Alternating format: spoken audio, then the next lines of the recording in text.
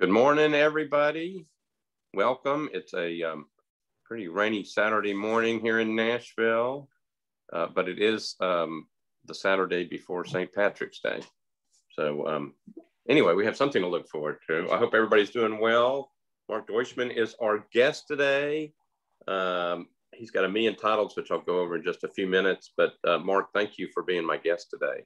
Hope you're doing Thanks well. Thanks for having me, Jim. Sure thing. Great well, thing you're uh, doing. I like this. Well, it's it's been interesting. We've done it for I guess almost a year, hmm. and um, we uh, do it. Try to do it every Saturday. Try to bring in somebody different just to talk about things going on in Nashville and provide, um, you know, people who are listening or people who watch later kind of a perspective on what's hmm. happening. It and, beats uh, 2 a.m. council meetings, I bet. Yes, yes, it does beat 2 a.m. council meetings. Our last council meeting was actually shorter. It ended at 12:30 hmm. in the morning uh, so it was a relatively short, shorter meeting.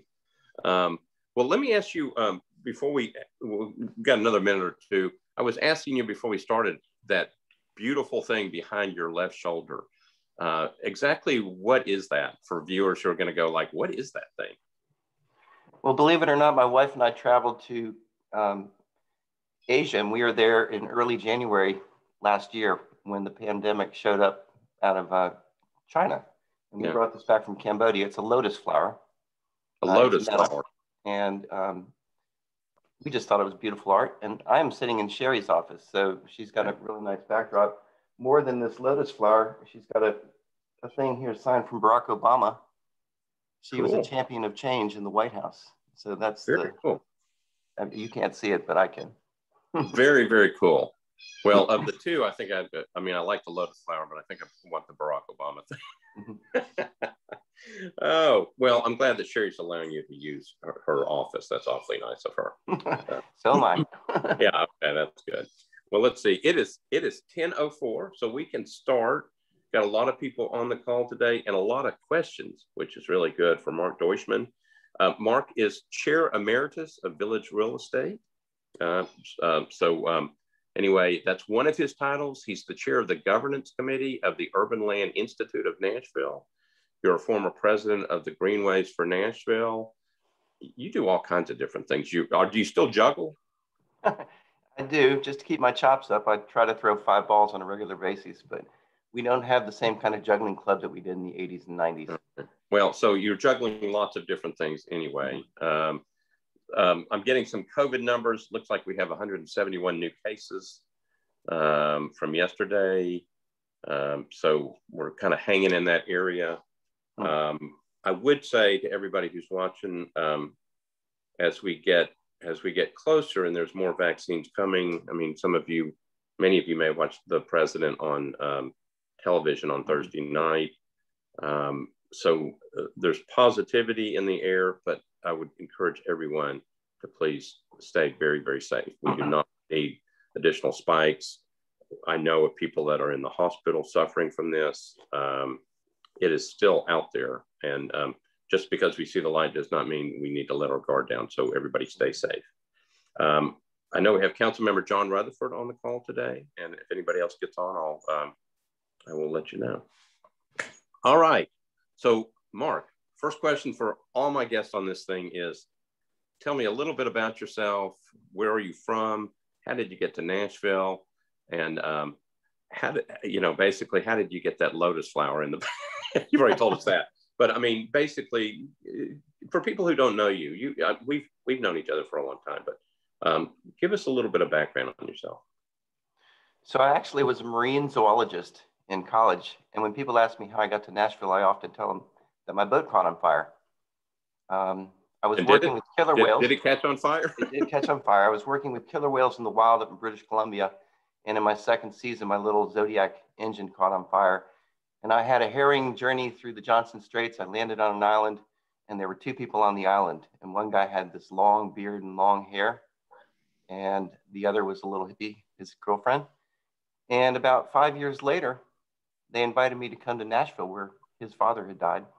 Um, and it was Joel Solomon, if you know Joel. Yeah. And I so, never left. So did you spend five years on the island or did, how'd you get off? No, I was only there with, with, them for about seven days, but I came up for another season. We spent time together. We became fast friends. I mean, it just evolved into a relationship. And when my father died in 1985, I was back in Maryland. His father had died. I came down to Nashville and pretty much just moved into their house in Hillsboro Village. So that's how I got here.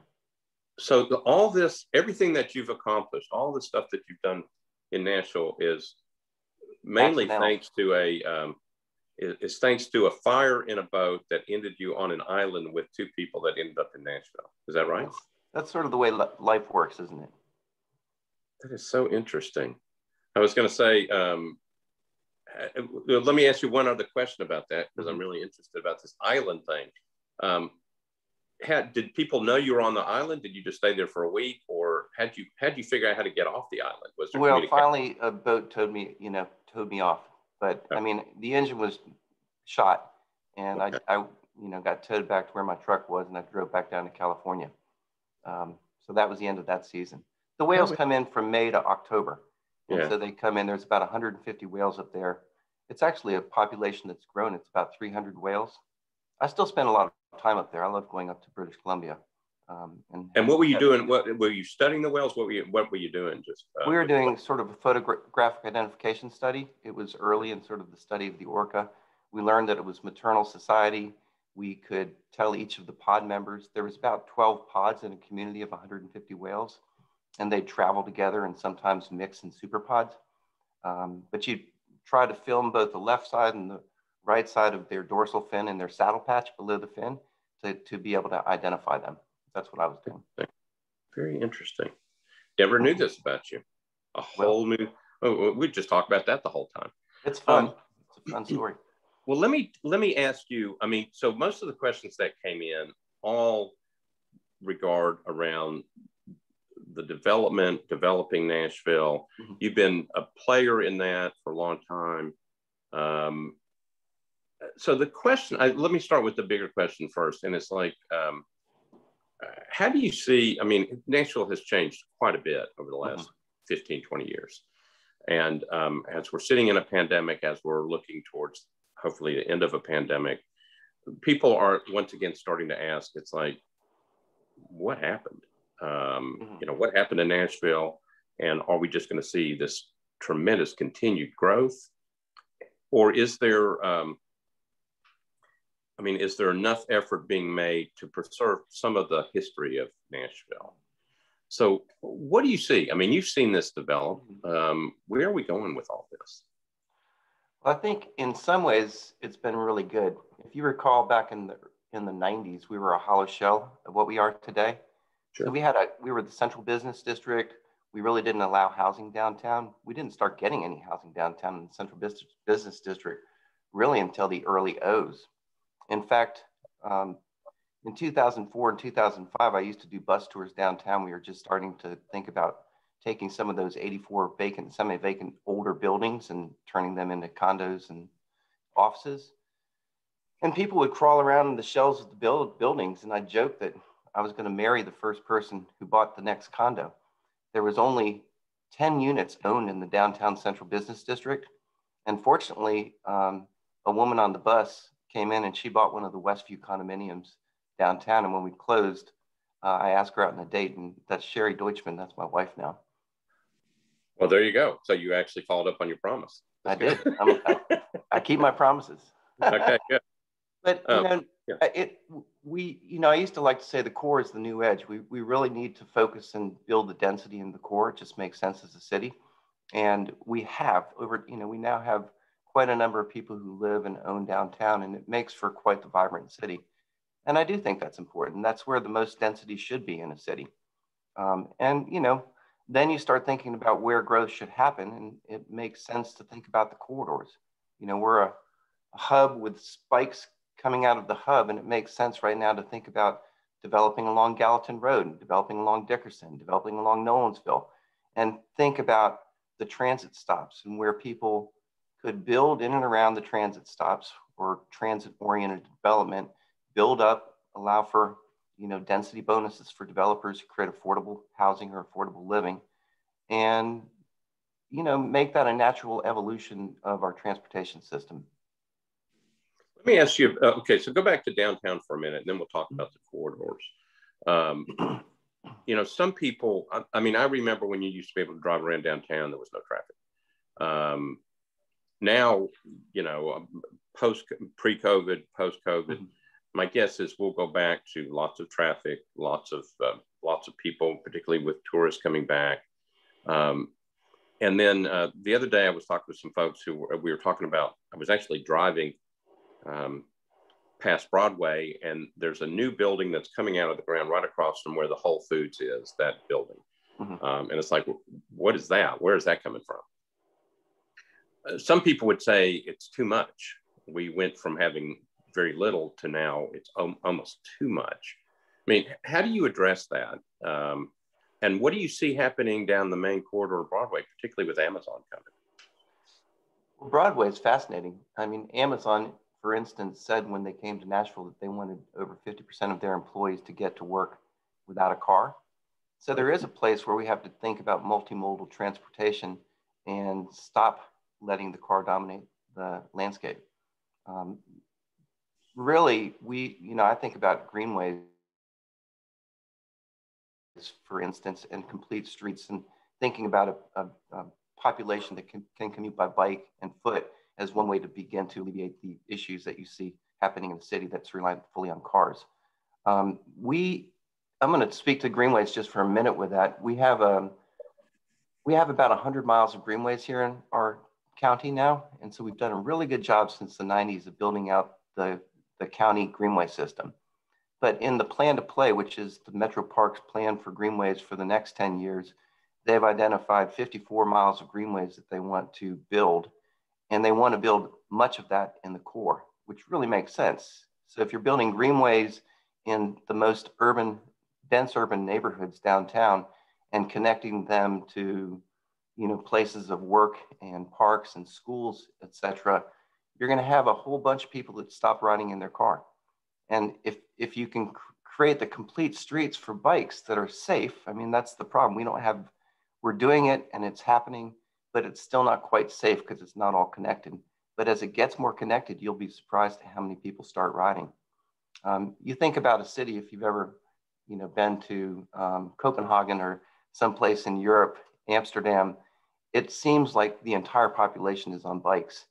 And they didn't do that accidentally. That was intentional. You know, back in the 60s and 70s, they had the same kind of problems we have in Nashville, but they changed their thinking and decided to make the car less prevalent in the core because it just clogs up the arteries and let bikes, people walking, and uh, other forms of transportation take precedence. So we have to think that way if we're going to move into a, a better future for our city. Well, I know that the, some of the focus of efforts by, by, the mayor, by previous mayors, by the council, by previous councils is to encourage that. But, you know, from a perspective, from your perspective, do you see that happening? I mean, it's obviously you start talking about the political world, the financial world, mm-hmm. all these other things that have an impact. Um, with with that much more building going on, particularly in the downtown area, and with Amazon coming, uh, and the space there that's being built. Mm-hmm.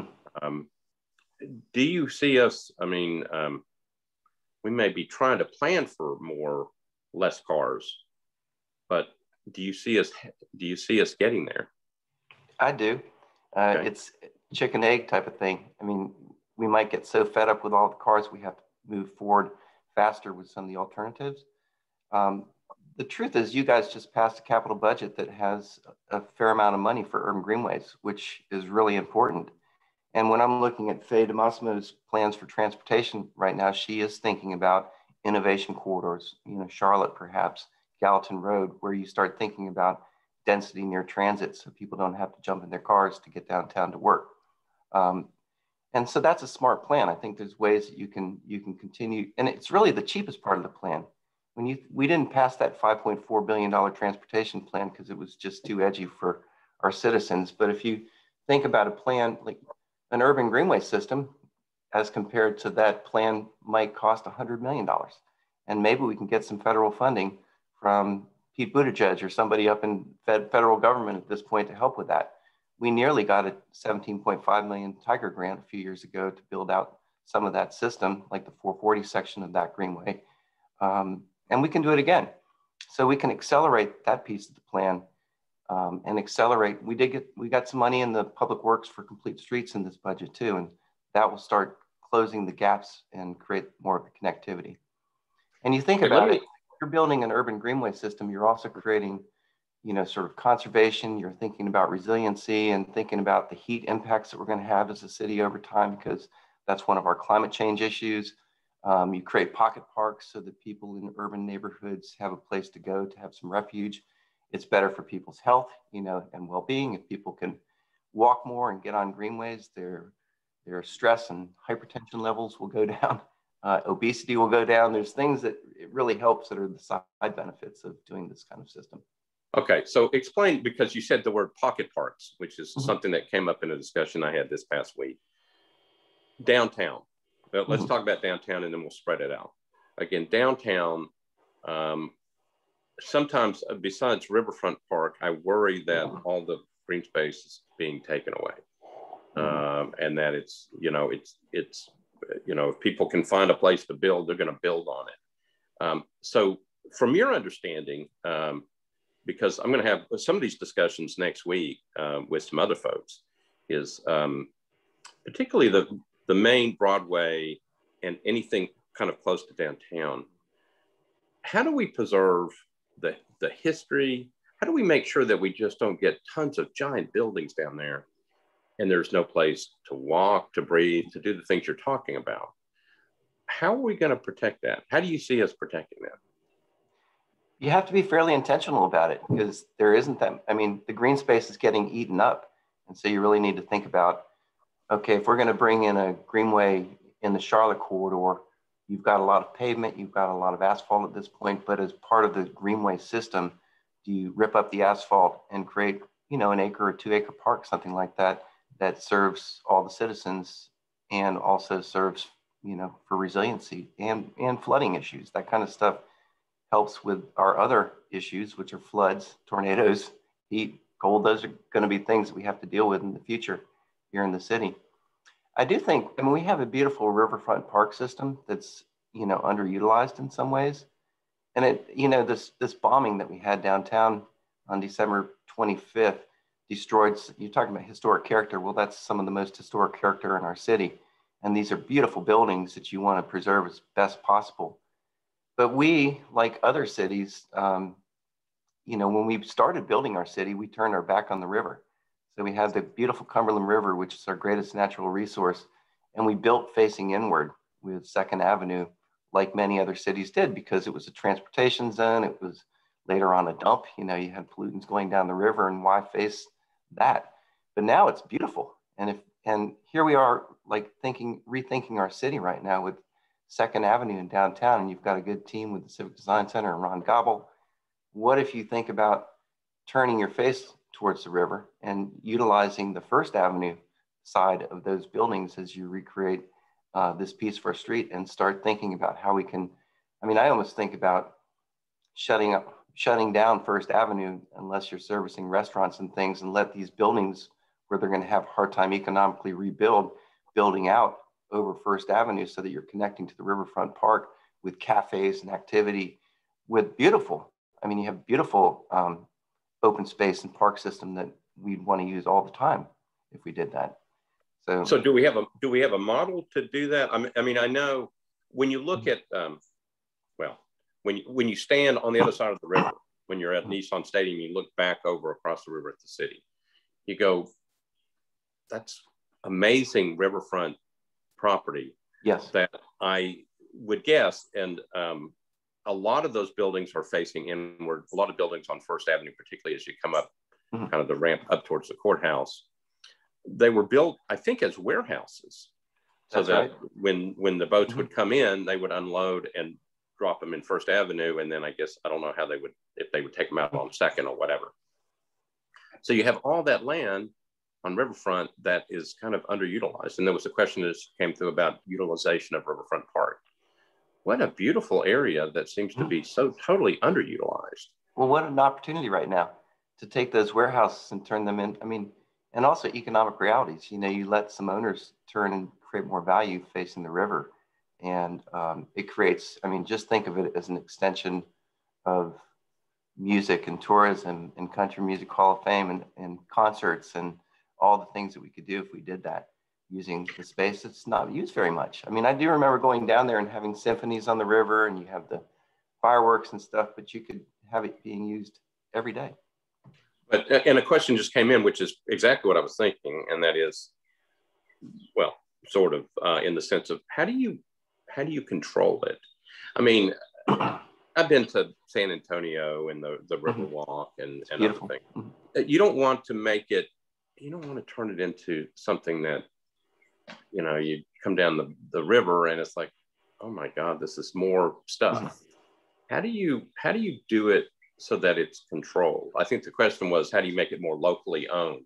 Mm-hmm. Because I do worry um, that if, if we don't have more controls in place, we're going to lose a lot of what made Nashville such a great place to, to live in for a long time. It's still a wonderful city, but you know, I think we're we're losing some of that character very quickly. I agree. How, I mean, how, what, how would you do that? How would you make sure that we do it correctly? I mean, I, am glad that there's a team that's taking a look at this right now of smart people. Um, and you know, if you, if if you engage a group like the Nashville Civic Design Center, um, that created the plan for Nashville and Plan of Nashville back in 2005. They had done a series of neighborhood charrettes, nine different urban neighborhoods, and asked everybody what they want for the city. And they took that and they compiled it into the plan of Nashville. Um, they definitely highlighted using the river as the greatest natural resource. But I, I mean, you have to think about the folks in planning and, um, you know, the folks downtown. We don't want to make an extension of Lower Broadway you know, we don't want to just do the same thing and create a right. bunch of honky tonk type stuff. We have enough of that. And I'm thinking that we're starting to create delineated zones right now. Second Avenue has a different feel or could have a different feel with this new recreation than Lower Broadway. Of course, now you have the Fifth and Broad buildings. It's going to have its own unique flavor with the, you know, big, big restaurant houses. And then you head up the street to Amazon and their parks and the Gulch. You want them all to have a different kind of flavor, I think. And I, you know, I don't know the answer of how do you do that, but I do think that it makes sense to engage a lot of smart people. I will say, I mean, the Urban Land Institute, I'm the chair of governance currently, and I'm the former chair. We had, we had um, the spring convention. So we had the spring meeting here in Nashville in 2019. And as chair, I, we, we invited 4,300 people to come take a look at our city. And these are 4,300 people from around the world, 600 people who came from other countries who had a look at who we are and what we're doing. And, you know, we're, we're sort of an envy in a way. So maybe we're having problems internally, but we have something going on here that's unique. We have a fantastic brand.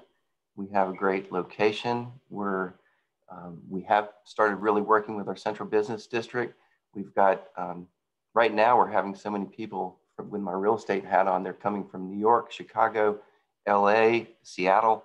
You know, they're coming from places where there's a lot of density and they also like the fact that we have open space and greenways and we can get out to hills and parks, you know, in our four quadrants in Davidson County right now without too much of a problem. So we're in envy and it's it's a tough place to be because people are still coming to our city every day and they want to stay.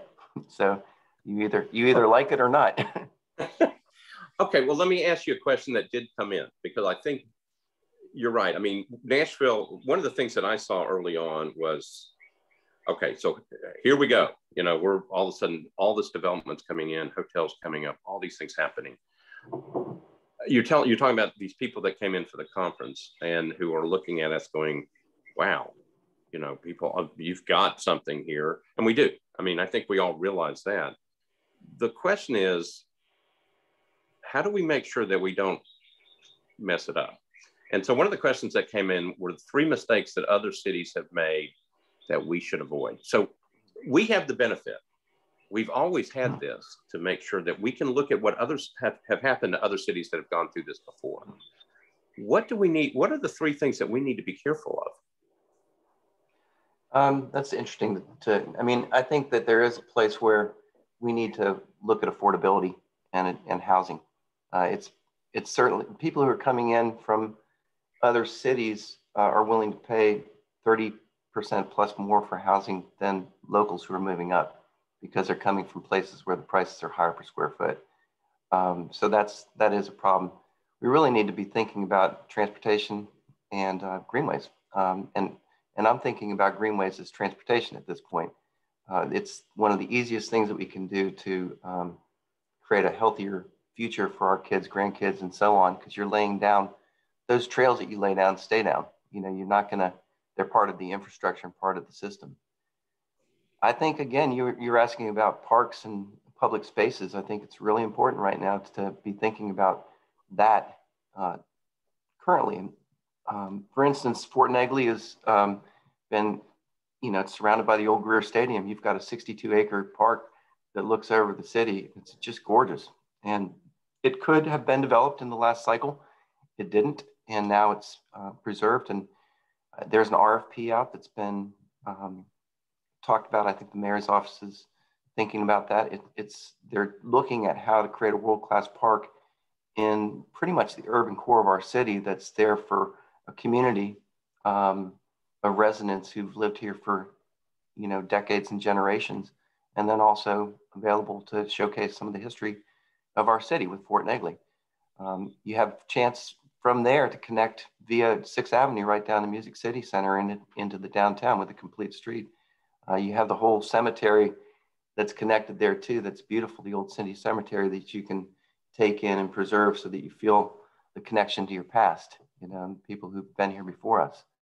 Um, it, it does make sense. You know, we, we did have a history of tearing down beautiful old places in our city, but I think we've gotten a lot smarter and we have a pretty robust uh, Metropolitan Historic Commission at this point that makes sure we don't do that again. Um, what do you say um, to um, I mean, every time I, well, not every time, but when I drive downtown, I'll see something new popping up out of the ground. It's another big high rise thing. Have we got enough of those? I mean, and and maybe this morphs into the affordability issue, which is something that people did ask about. Um, so most of the things that I've seen that are being built downtown are high income, you know, residential units. Um, I mean, at some point, do we have enough of those? And then I guess the follow up question is with those coming in and with now pushing out into um, some of the corridors, we're driving people out of here. We're driving Nashville longtime residents out because they can't afford to live in the main area or the core area. Some of them can't afford to live in mm-hmm. some of the outlying areas as well. Big issue, affordability. It, it really is. I mean, that this is where you really focus on the corridors and, and you think about zoning and transportation, they go hand in hand. So if you're thinking about innovation corridors, you really have to think about what happens within that one quarter mile or one half mile around that section. And at the Urban Land Institute, we did a study. It was the mayor's, it was under Mayor Barry. It was the transportation and um, transportation and affordability panel. Mayor Purcell led it um, with Brenda Wynn and I was serving as chair and served on that panel, we talked a lot about not just affordable housing, but affordable living and how you really do need to think at those um, transit stops about building in, you know, building in affordability. Like you have to build affordability. You have to build affordable living if you're going to build in this transit node. But I, I think it's a, a zoning thing and you have to get, you have to be there in advance. You can't just let the developer do whatever they want. You need to create bonuses and incentives for people to create affordability. Um, so you could, I mean, we have the permission right now from the state. I know we had to go get permission to create tax increment financing districts on the corridors, and we can. So we could use TIF as a tool to help with these transit development and trail oriented development conversations to make sure that we're building in affordability in as close to the core as we can get. I do want to say downtown. I mean, there there is a group that you know you have like Rutledge Hill is a historic hill looking over the city, and there is um, you know they have eight story or seven story height limits through there, and I know there's a conversation right now with a group that wants to build a 32 and a 38 unit tower that would take some of that Rutledge Hill zoning and change the community plan and allow them to go up, which, you know, I think that you, you also have this beautiful park with, it's a radio tower up there that I think should be a park for, you know, that should be one of our pocket parks to identify. I don't think we should let that happen. I think we should really follow the community plan and put the high rises where high rises can be on Church Street or whatever, and not let that kind of uh, shift happen and impact a Rolling Mill Hill or you know um, uh, Rutledge Hill. Well, so let me ask you about, um, I guess, community plans um, and following them because you, I mean we can have we can have all kinds of different plans, and then if we don't stick to those plans, then we obviously immediately deviate, and then everybody else does the same thing that question, along with, I know I usually ask two questions at the same time, the corridors. So, um, and they all kind of fall into zoning matters. So if you have a, an area zone and you have a community plan, and then you don't follow it because people deviate and then the council decides to not do it or, or deviates from the plan, you've got a problem. On these corridors, if the key is to zone it to make sure that we don't get developers to come in and build, you know, again, multi-million dollar complexes for uh, that really are not affordable housing. How do we how do we make sure as a city that we know this is what we want to do and we need to stop some of this stuff? You said we need to be more proactive, but I think there's concerns that we're if we're not careful, if we don't do something soon, we won't be there. We we won't be able to protect it It's interesting right now. Um, you have the whole East Bank discussion that's emerged, and mm-hmm. so that's a bit of wild, wild west territory. But it it will be defined. There is a planning process that lets us right now define what's going to happen. You know, from River North to PSC Metals. You know, and you know what we decide with that plan will sort of dictate what the other side of the river grows up to be, and how much of that land gets saved for parks, and what happens around our um, sports stadiums or stadium, depending upon if we ever get Major League Baseball out there. Um, um, so, you know, Nashville is growing. It's it's not something I think we can put a stop to. We were rated for the second time in a row as the number three city to watch in emerging trends through ULI. So, um, the the rest of the world has their eyes on us. So that's the, the only way we can do it. Really, is to get in front of it. I wouldn't um, I would might I might use ULI. ULI has the tools to come in and bring experts from all around the world, and we do think about the responsible use of land, particularly urban land.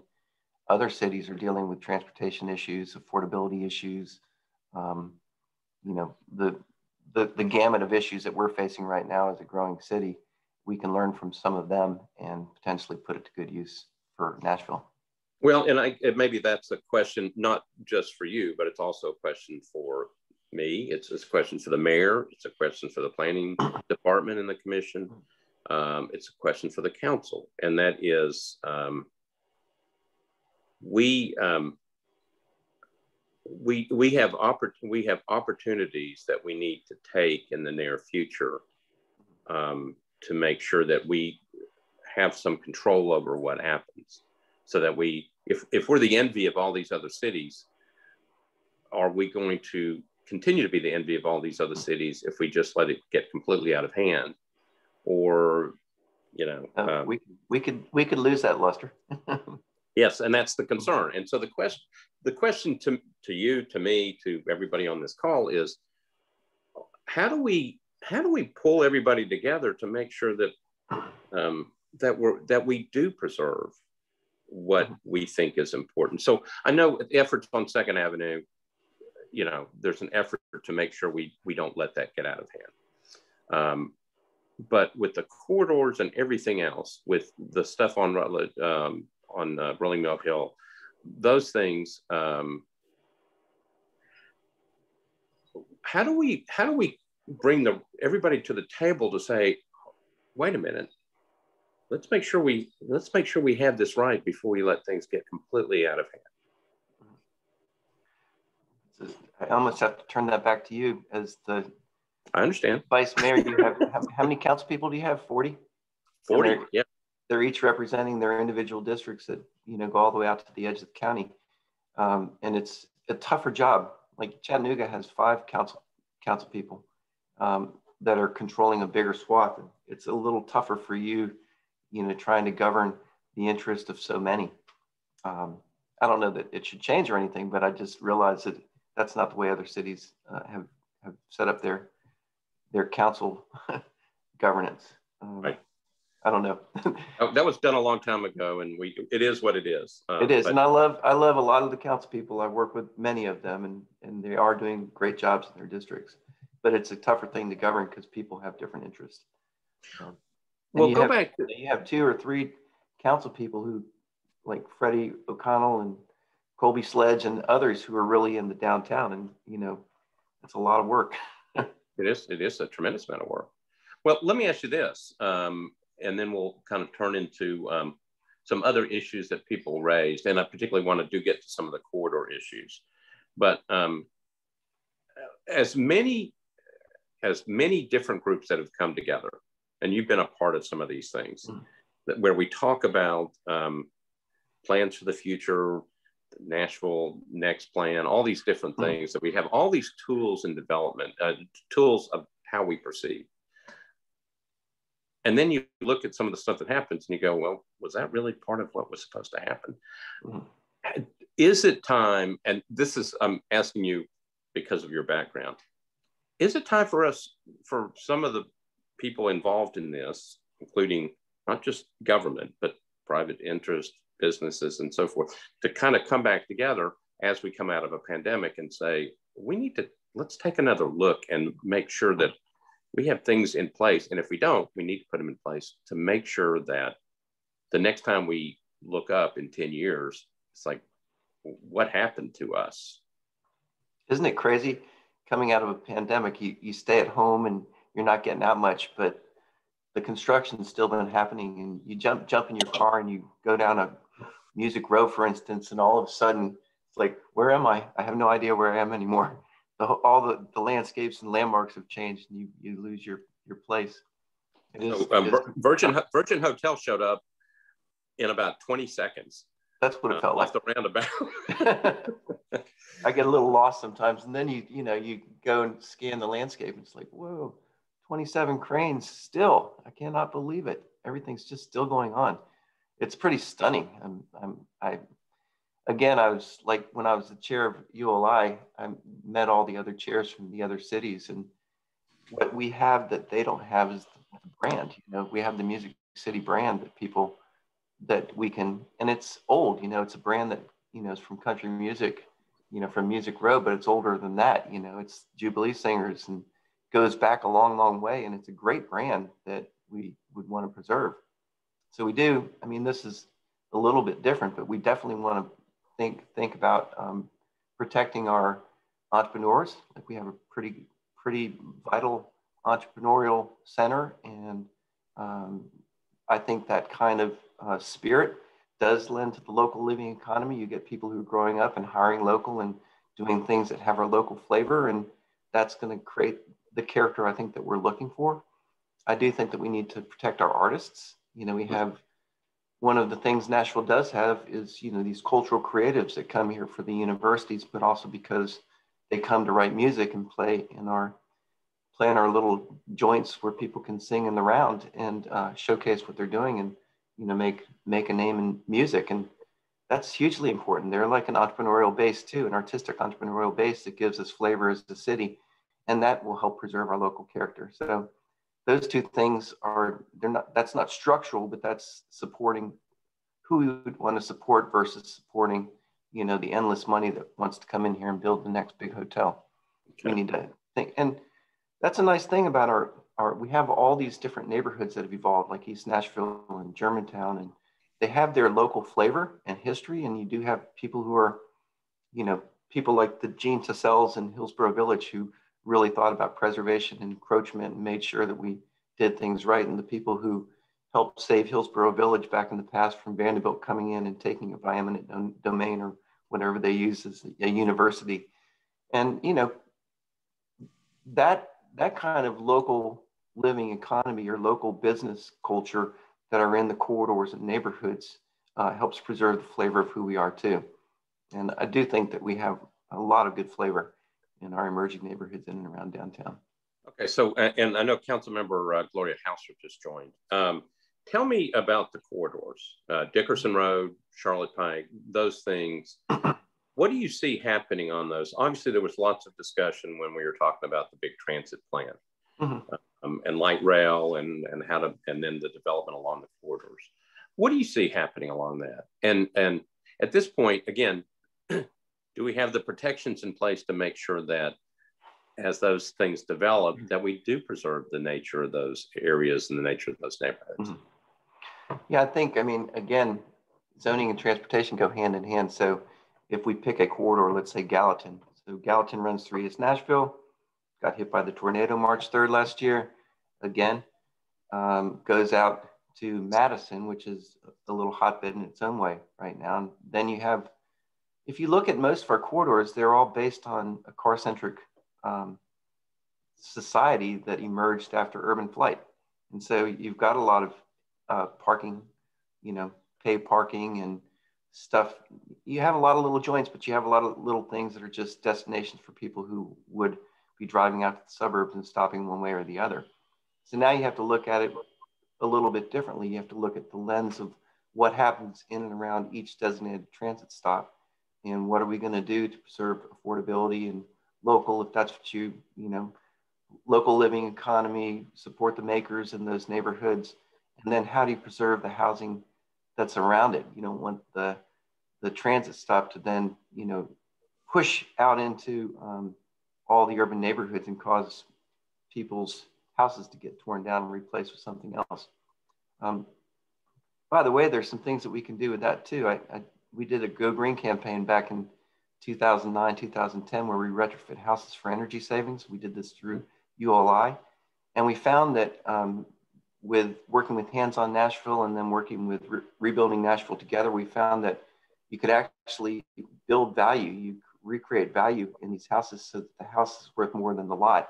And it turns, um, it keeps, and a lot of these were older, older widows, for instance, who would would otherwise might have sold, they stay in their house, becomes a multi-generational household. And so it slows down the gentrification process and slows down the tall skinnies that people complain about. Um, um, but I think we could do a lot more of that. We have a whole bunch of older 50, you know, 20s, 30s, 40s, 50s houses in, in the surrounding neighborhoods that we'd probably prefer to preserve versus have them. If you don't preserve the affordable stock, then you're going to have a, a, a worse problem. So at least try to preserve the stock that you have as you, as you contemplate the problem of affordability and building more to serve future households. All right, so a question came in about dedicated funding sources for transit and transportation. Um, what do you think about that? A dedicated source to, to actually um, kind of push the issues you initially were talking about, about transportation um,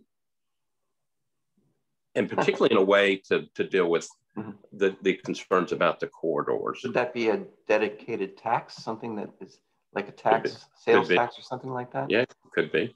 Um, I mean, I think we should build out the urban greenway system as fast as possible. So yeah. more power to it if we can get it done. I think that we should focus on getting that done sooner rather than later. Uh, I don't really know about, you know, another sales tax and how that works. It it's um you'll have to leave that one up to us, I think. We'll yeah, to me, I mean, I feel like you know we have a property tax issue. In fact, you know, if if this referendum ever gets passed, we will we'll be killed. Right now, we've we've managed to to create a good budget and um, balance it here in the city during a pandemic, which is a good thing. We needed a property tax increase, and it should have happened a couple times in the past to stay stay aligned with, with what we needed as a city. And it's one of our only funding sources. And it's a place, and we, we have to be less generous at the um, Board of Equalization with some of the folks come in and ask to get their property taxes reduced because they're, you know, they have tax lawyers or something helping them to do that. We just need to not do that. We need to make sure people are paying their fair share of taxes, particularly in the core where the services are needed most. That's our um, main. That's our main income source. We, right. You know, hotel and occupancy tax has been killed this year. So, what are you going to do? Well, it's going to be interesting, particularly with um, things starting to open back up, to see what happens with next year's budget. And we've told people on this call to keep an eye on the mayor and the city council uh, over the next um, less than four months because we'll get the budget from the mayor next month, uh, probably at the end of April. Mm-hmm. And then we have two months in which to figure out what to do. Um, and um, um, a lot of it will depend on how quickly I think um, the finance director thinks that things are going to open back up and with all the new buildings and everything else, what is it going to look like? What what are we looking Crumbo, at? Crumbo? Yeah, Kevin Crumbo. Yeah. So um, should be kind of an interesting next four months to kind of figure out where all that mm-hmm. stuff happens. so. Um, let me ask you this, because uh, we have about we have just about ten minutes left. I'm interested because um, we we had, you know, you've you've tied everything pretty well together in terms of what happens at downtown. You've talked about some of the corridor growth, the transit lines, affordability. Um, let me ask you this. I mean, when so I've been to cities, as you have, where there really is unique differences, and there are in Nashville of the neighborhoods.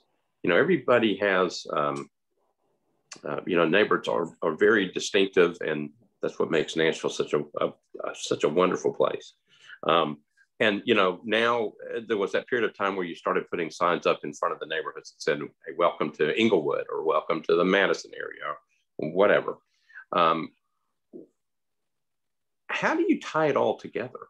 So if we're Music City USA, um, is there a way to tie everything together? So even though you you make sure that everything is different and distinct, it's all tied together.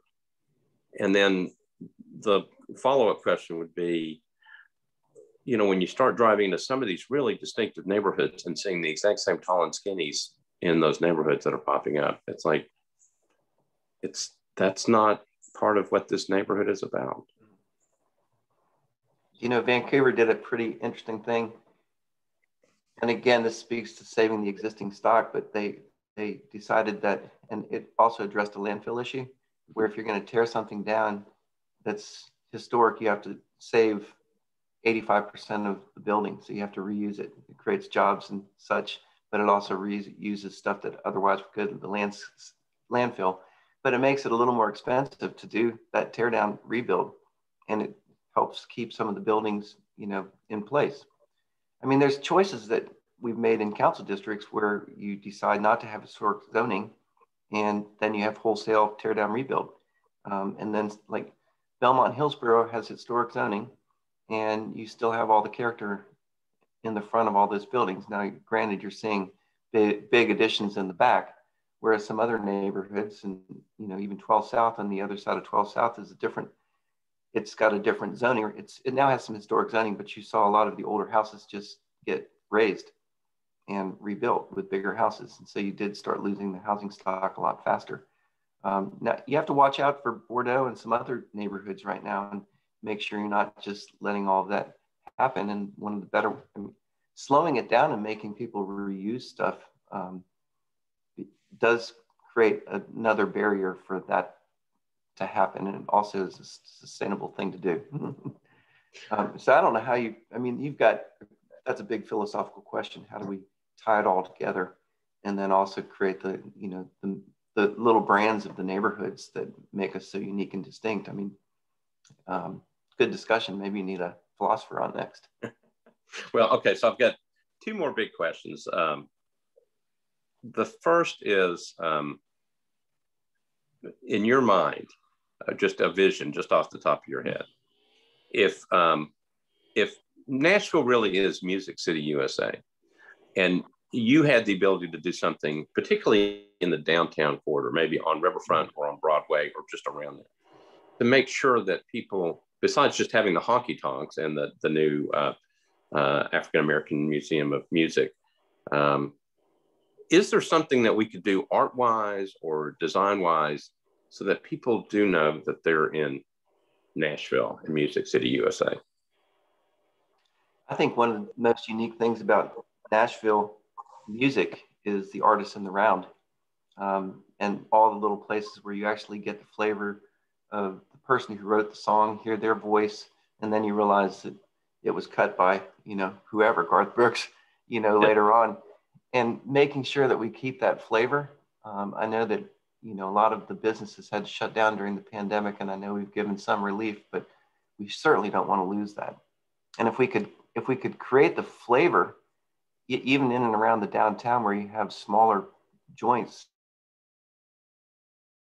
and you know lots of places for artists in around and, and um, to, to do their thing in a in a it's it's sort of the bluebird environment where you a little quieter it's quieter than the honky tonks that you have downtown. You're looking for the quiet places where people can express themselves and show their true art.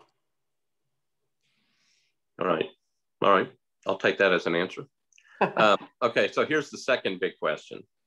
So um, it's it's um, people have started really talking about this, and this is why it's, it's, such a great opportunity to have you on the show. And I really do appreciate you being here.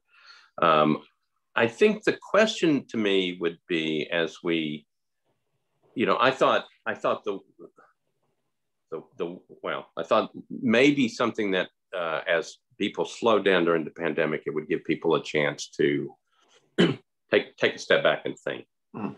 And um, I, I, know a lot of people have done that and tried to, you know, mm-hmm. rethink what's really important. Um, from a governmental standpoint, I know that everybody's been really, really busy. I mean, it's taken a tremendous amount of effort just to get through this, uh, particularly from the mayor's office. I understand that.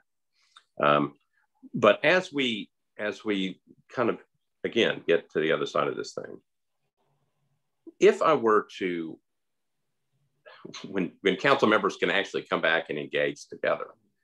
Call, a, call the council back together to a, not a meeting, uh, not a council meeting, but to a workshop on where's the city going? Who would you have at that meeting? That's the question. Mm-hmm. How would you, what would you put together as an agenda? So everybody gets a fair shake at it. Mm-hmm. But so we actually kind of know that we're maybe at a crossroads at this thing, and maybe there are some steps that we should be looking at to take to make sure that we preserve, we don't let it get out of you know, too far out of hand. That's a good question. I mean, who are the thought leaders in the city that would help us think this through?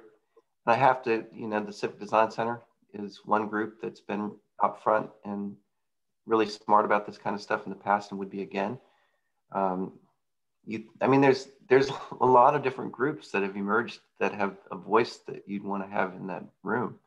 Um, I mean, there's older groups like the Nashville Agenda, where there's a group of leaders that want to try to address the issues of the time. Well, they are thinking about all that at this point and would love to have a seat at the table. But you have groups like NOAH that are really thinking about affordability and displacement and gentrification. That you, would want to have that group at the table.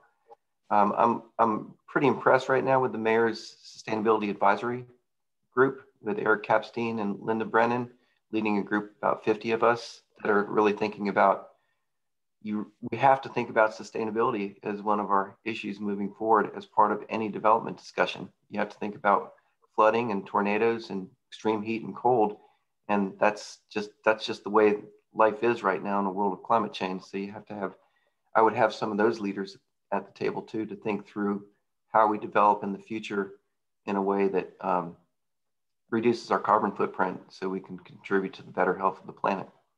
Um, so, I mean, Greenways for Nashville, there's a great, you know, that's a great advocacy group that really understands the emerging urban greenway system. Um, and just as a shout out, I'll be co-hosting for the third year in a row with my wife the um, Dinner by the Bridge event in either September 30th or October 7th it's a wonderful, wonderful event on the East Cumberland Park at this point. Um, but greenways were essential during the pandemic. If you know, for mental and physical health, if we had had to shut those down, just think where we'd be as a city. Um, so, don't know if I answered all of your questions, but those are some folks who had at the table. I think you answered it. I think we might, I might be calling you back to see because I think it may be something that needs to be done.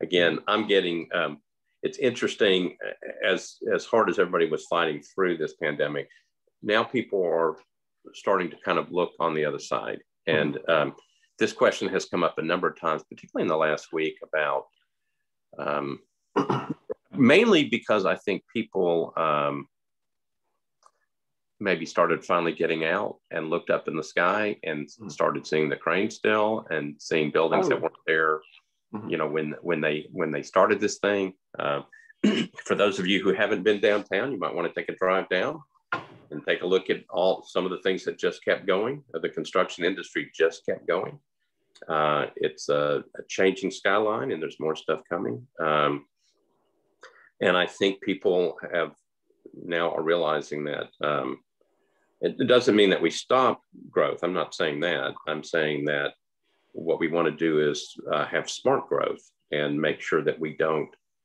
um, we don't lose the character of our city, um, and I guess make the mistakes that um, the the question had been the three mistakes other cities make that we learn and we do take the steps to protect it. And I guess the final question the final question would be. Um, um, we've had groups like this before, obviously. I mean, we we uh, this is not an initial idea. We've had groups that have done this before. The question is, again, how do we, um, if we came together and said, you know what, we need to put this in place and this in place and this in place for the betterment of the city. How do we make sure that we actually do it for a change and that, that we yeah. yeah. do call on do call on um ULI because we have 750 members in our chapter, and it's an incredible active group that wants to be tapped to, you know, tackle the city's thorniest problems. Anything from affordability to greenways to transportation um, to decking the interstate at Jefferson. I mean, we can find examples of what's happened in other cities and dilemmas that they have faced that we can bring to bear as we think through what we want to do. So ULI wants to see the table. All right. Well, Mark, thank you for your time today. It's been really, really interesting. The, the mm-hmm. chat box is full of people just saying thank you to you. Really good discussion. And um, I think it's going to be, um, again, very relevant in the next, uh, within the next year, if not in the next several months, about um, that discussion about where we go. So um, the stuff you've talked about, about today has been really, really helpful. And I appreciate it. I appreciate you doing this. It's, uh, everybody everybody wants to feel essential and relevant in a pandemic, and it's nice to have a real conversation. Well, everybody, um, in order to make this work, everybody is essential, and uh, you you provide a lot of very very important information today. Um, we have Monique Odom next week uh, hmm. from the parks, the director of our Metro Parks. So it's going to follow up along with what you've done. Um, anyway, thanks everybody. Everybody have a, a very good weekend. I think it's supposed to be maybe sunny for five minutes. I don't know. But maybe it's going to rain all weekend, but I think tomorrow's supposed to be a little warmer. Um, anyway, everybody have a, a, really good weekend. Everybody stay safe, and we'll see everybody next week. Thanks, Mark. Appreciate Thanks, it. Jim. Bye. Okay.